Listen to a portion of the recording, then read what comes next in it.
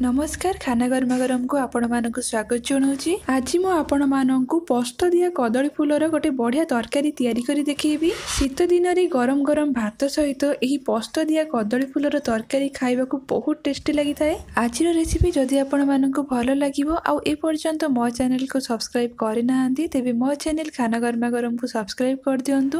ଆଉ ହଁ ସବସ୍କ୍ରାଇବ୍ ପାଖରେ ଥିବା ବେଲ୍ ଆଇକନ୍କୁ କ୍ଲିକ୍ କରିବାକୁ ଭୁଲିବେନି। ବେଲ୍ ଆଇକନ୍ କ୍ଲିକ୍ କରିବା ଦ୍ୱାରା ମୁଁ ଅପଲୋଡ଼ କରୁଥିବା ନୂଆ ନୂଆ ଭିଡ଼ିଓର ନୋଟିଫିକେସନ୍ ଆପଣମାନେ ଠିକ୍ ସମୟରେ ପାଇପାରିବେ।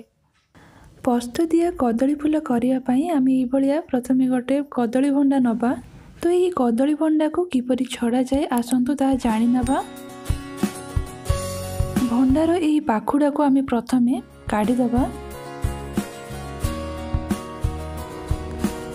ଏଇଟା ହେଉଛି ଆମର କଦଳୀ ଫୁଲ। ଆଉ ଏଇ କଦଳୀ ଫୁଲକୁ ଏବେ ଏଥିରୁ ବାହାର କରି ରଖିବା।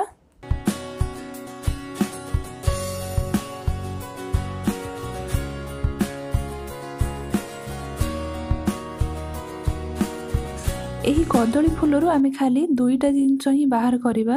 ଦେଖନ୍ତୁ ଏଇଟା ଚୋପା ଭଳିଆ ଯେଉଁ ଦେଖାଯାଉଛି ଏଇଟାକୁ କାଢ଼ିଦେବା। ଆଉ ଯେଉଁ ଏଇ ସବୁଠୁ ଦେଖାଯାଉଛି ଲମ୍ବା ଭଳିଆ କେଶରଟା ସେ କେଶରଟାକୁ ଆମେ କାଢ଼ିଦେବା। ତ ଏହି ଦୁଇଟା ଜିନିଷ ଆମେ ଏଇ କଦଳୀ ଫୁଲରୁ କାଢ଼ିବା। ମୁଁ ଆପଣମାନଙ୍କୁ ଆଉ ଥରେ ଏଇ ଫୁଲ ଛଡ଼େଇକି ଦେଖାଇ ଦେଉଛି। ତ ଏଇ ଚୋପା ଭଳିଆ ଦେଖାଯାଉଥିବା ଏଇଟାକୁ ଆମେ କାଢ଼ିଦେବା।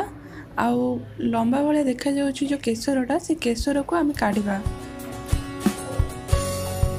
ଏବେ ଆମେ କଦଳୀ ଭଣ୍ଡାରୁ ସବୁ ଫୁଲକୁ ବାହାର କରିଦେବା।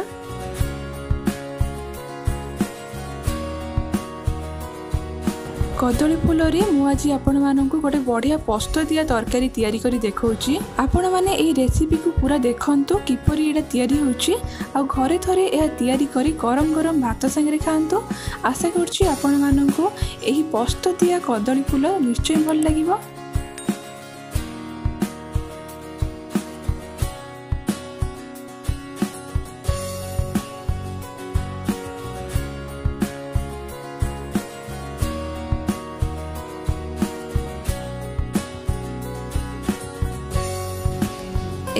ଛୋଟ ଫୁଲରୁ ତ ଆଉ କିଛି ବାହାରିବନି। ସେଥିପାଇଁ ଆମେ ଏସବୁକୁ ଏଥିରେ ମିଶାଇ ଦେବା।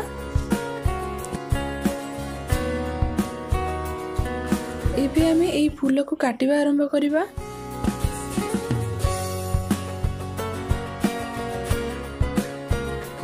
ତ କଦଳୀ ଫୁଲକୁ ଆମେ ଏଇଭଳିଆ ଭାବରେ ପୁରା ଛୋଟ ଛୋଟ କରି କାଟିବା। ଦେଖନ୍ତୁ।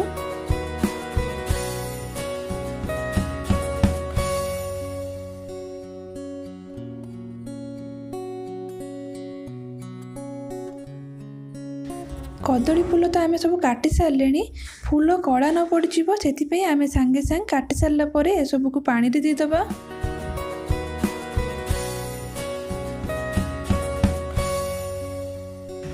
ଯଦି ଏହିଭଳି କିଛି ନୂଆ ନୂଆ ରେସିପି ଦେଖିବାକୁ ଚାହୁଁଛନ୍ତି ତେବେ ମୋ ଚ୍ୟାନେଲ୍ ଖାନା ଗରମା ଗରମକୁ ସବସ୍କ୍ରାଇବ୍ କରିଦିଅନ୍ତୁ। ଆଉ ସବସ୍କ୍ରାଇବ୍ ପାଖରେ ଥିବା ବେଲ୍ ଆଇକନ୍କୁ କ୍ଲିକ୍ କରିଦିଅନ୍ତୁ ଯାହାଦ୍ୱାରା ମୁଁ ତିଆରି କରୁଥିବା ରେସିପିକୁ ଆପଣମାନେ ସହଜରେ ଦେଖିପାରିବେ।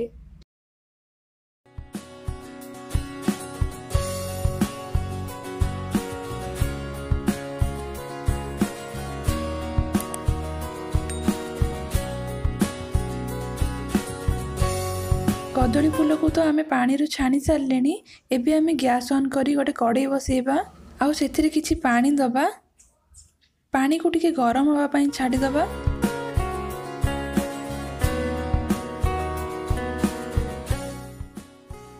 ଦେଖନ୍ତୁ ପାଣି ଗରମ ହେଇସାରିଲାଣି ଆମେ ଯେଉଁ ଛାଣିକି ରଖିଥିଲେ କଦଳୀ ଫୁଲ ଏଥିରେ ଏବେ ଦେଇଦେବା।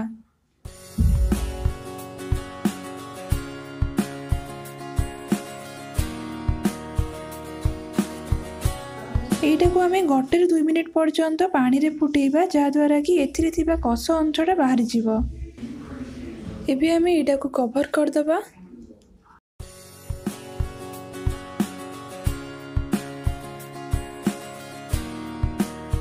ଗୋଟେରୁ ଦୁଇ ମିନିଟ୍ ତ ହେଇସାରିଲାଣି ତ ଏବେ ଆମେ କଦଳୀ ଫୁଲକୁ ପାଣିରୁ ଛାଣିଦେବା।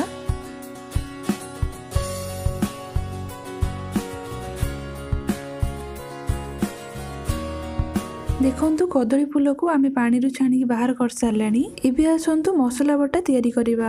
ମସଲା ବଟା ପାଇଁ ଆମେ ପ୍ରଥମେ ଅଧା ଚାମଚ ପସ୍ତ ନେବା। ଅଧା ଚାମଚ ଜିରା ନେବା। କିଛି ରସୁଣ ନେବା। ଆଉ ଏଇଭଳିଆ ସାଇଜ୍ର ଅଦା ନେବା। ବର୍ତ୍ତମାନ ଆମେ ଏସବୁକୁ ବାଟି ଗୋଟେ ମସଲା ବଟା ତିଆରି କରିବା।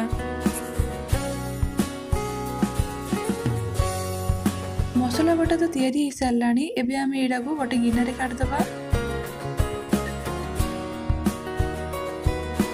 ଦେଖନ୍ତୁ ତରକାରୀରେ ଦେବା ପାଇଁ ଆମର ମସଲା ବଟା ତିଆରି ହେଇସାରିଲାଣି ଏବେ ଆସନ୍ତୁ ତରକାରୀ କରିବା ଆରମ୍ଭ କରିବା ପ୍ରଥମେ ଗ୍ୟାସ୍ ଅନ୍ କରି କଢ଼େଇ ବସାଇବା ଆଉ ସେଥିରେ କିଛି ତେଲ ଦେବା ତ ମୁଁ ଏଠାରେ ସୋରିଷ ତେଲ ଦେଉଛି ତେଲ ଗରମ ହେଇସାରିଲା ପରେ ସେଥିରେ ଅଧା ଚାମଚରୁ ଟିକେ କମ୍ ଜିରା ଦେବା ଗୋଟେ କଟା ହୋଇଥିବା ପିଆଜ ଏଡ୍ କରିବା। ଟିକେ ବାଦାମୀ ରଙ୍ଗ ହେଲା ପର୍ଯ୍ୟନ୍ତ ଆମେ ପିଆଜକୁ ତେଲରେ ଭାଜିବା। ପିଆଜ ଟିକେ ବାଦାମୀ ରଙ୍ଗ ହେଇ ଆସିଲାଣି ଏବେ ମୁଁ ଏଥିରେ ଅଧା ଚାମଚ ଲଙ୍କା ଗୁଣ୍ଡ ଦେଉଛି। ଆପଣମାନେ ନିଜ ପସନ୍ଦ ଅନୁସାରେ ଏଥିରେ ଲଙ୍କା ଗୁଣ୍ଡ ଦେଇପାରିବେ। ଅଧା ଚାମଚ ହଳଦୀ ଗୁଣ୍ଡ। ଭଲ ଭାବରେ ମିଶାଇ ଦେବା।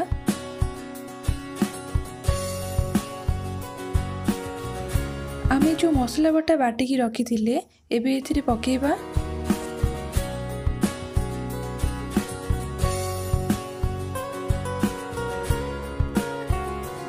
ମିଶାଇ ସାରିଲା ପରେ ଏବେ ଏଥିରେ ଅଳ୍ପ ପାଣି ଦେଇଦେବା। ତ ମୁଁ ଏଠାରେ ମସଲା ବଟା ପାଣି ଦେଉଛି। ଆପଣମାନେ ଚାହିଁଲେ ଖାଲି ପାଣି ମଧ୍ୟ ଏଥିରେ ଦେଇପାରିବେ। ମସଲାକୁ ଆମେ କିଛି ସମୟ କଷିବା। ଦେଖନ୍ତୁ ମସଲା ଭଲ ଭାବରେ କଷି ହେଇଗଲାଣି। ତ ଏଥିରେ ଦୁଇଟା କଟା ହୋଇଥିବା ଆଳୁ ପକାଇବା। ଆଳୁକୁ ମସଲାରେ ଭଲ ଭାବରେ ମିଶାଇ ଦେବା।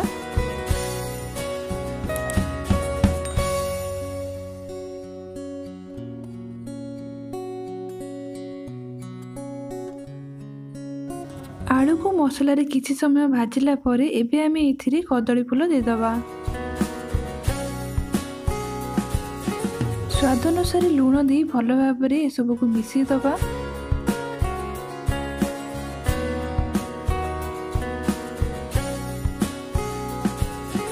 ଗୋଟିଏରୁ ଦୁଇ ମିନିଟ୍ ପର୍ଯ୍ୟନ୍ତ ଆମେ ଏଇଟାକୁ ଫ୍ରାଏ କରିବା।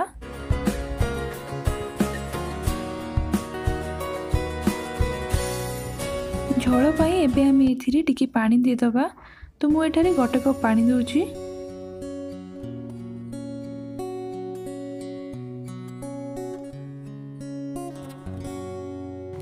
ମିଶାଇ ଦେଇ ସିଝିବା ପାଇଁ ଆମେ ଏଇଟାକୁ ଟିକେ ସମୟ କଭର୍ କରିଦେବା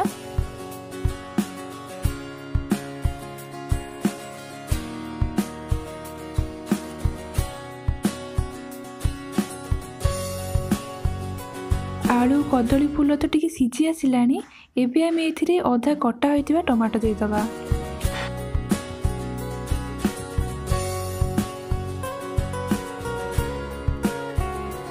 কଷি সারা পরে টমাটো সিঝিবা আমি এটাকে টিকি সময় কভর করেদেবা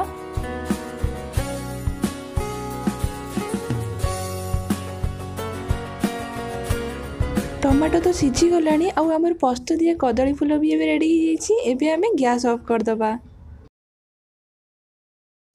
বর্তমান আমার প্রস্তুত হয়েছি গরমা গরম পোস্ত দিয়া কদলী ফুল।